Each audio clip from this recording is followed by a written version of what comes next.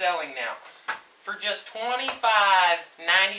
That's in 2,599. This can be your rope and dummy. The latest and greatest in improvements in the roping industry. This is the ranch roping dummy to have. Why? It's the most realistic. I mean, it's got, it's got a real bull tail on it. Real bull tail. That is something there that no one else has ever thought of. It's got a real bull ball nutsack on it. Now that's new. I guarantee no one else sells a dummy like that. It's totally customizable with your own head.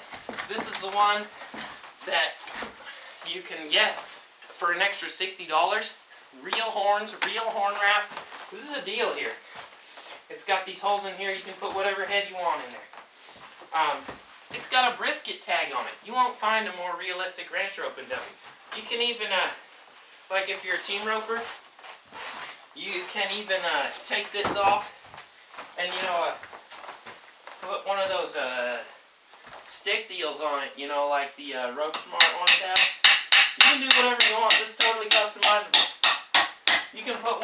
One. I don't, I don't really know what it does, but if you want it, you can have it. See, this is as good as anything you'll find in the store, on the internet, and it's probably cheaper than all of them.